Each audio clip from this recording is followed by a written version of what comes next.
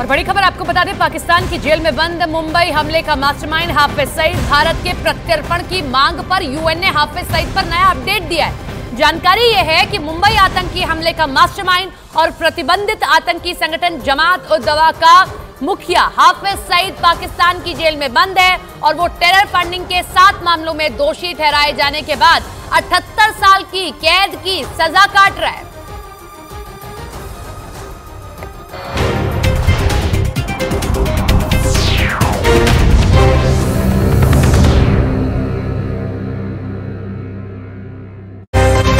के बीच जम्मू कश्मीर इस बार बर्फबारी के लिए तरस गया।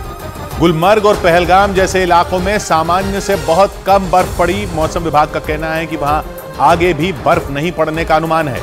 लेकिन तापमान माइनस पाँच से माइनस चार डिग्री सेल्सियस रह सकता है। यानी जम्मू कश्मीर में ठंड तो पड़ेगी, लेकिन बर्फबारी नहीं होगी। और जम्मू कश्मीर के जो इलाके सर्दियों के मौसम में बर्फ़ से ढके रहते थे, उन इलाकों में इस बार दूर दूर तक बर्फ़ नज़र ही नहीं आई। गुलमर्ग में तो ऐसे हालात हैं कि पर्यटक निराश होकर लौटने लगे। क्योंकि जनवरी में बर्फ़ से सफ़ेद हो जाने वाले गुलमर्ग में इस बार बर्फ़ ही नहीं पड़ी। दूर दूर तक खाली ज़मीन दिखी।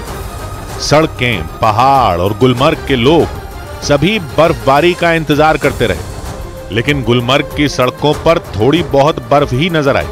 या यूँ कहें कि इस बार वहाँ ऐसी बर्फ़ पड़ी कि लगा ही नहीं कि बर्फबारी हुई। है इससे सबसे ज़्यादा निराश हुए वो लोग जो घूमने के लिए गुलमर्ग आए थे लेकिन बर्फबारी का मज़ा नहीं उठा पाए। हमें कुछ मिला ही नहीं यहाँ। उदासी है ड्राई एरिया सारा आमतौर पर गुलमर्ग में जनवरी के महीने में कम से कम एक फीट बर्फ़ तो रहती है लेकिन इस बार एक फीट बर्फ़ वहाँ दूर की बात हो गई और सड़कों और पहाड़ों पर छिटपुट इलाकों में थोड़ी बहुत बर्फ़ दिखी। क्योंकि इस बार घाटी में अच्छी बर्फबारी नहीं हुई। मौसम विभाग ने आने वाले दिनों में भी बर्फबारी का कोई अनुमान नहीं जताया और यह साफ़ कर दिया कि जम्मू कश्मीर में पारा तो गिरेगा लेकिन बर्फ़ नहीं पड़ेगी।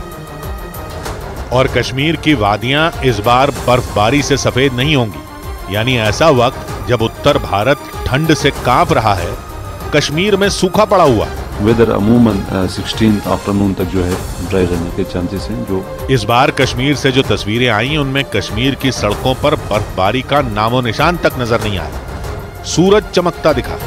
सड़कें सूखी नज़र आई। बर्फबारी से सफ़ेद हो जाने वाले पेड़ भी यूँ ही खड़े रहे। मौसम विभाग के मुताबिक पिछले तीन चार साल में ऐसा पहली बार हुआ, जब कश्मीर में दिसंबर और जनवरी के महीने में न के बराबर बर्फ़ पड़ी। और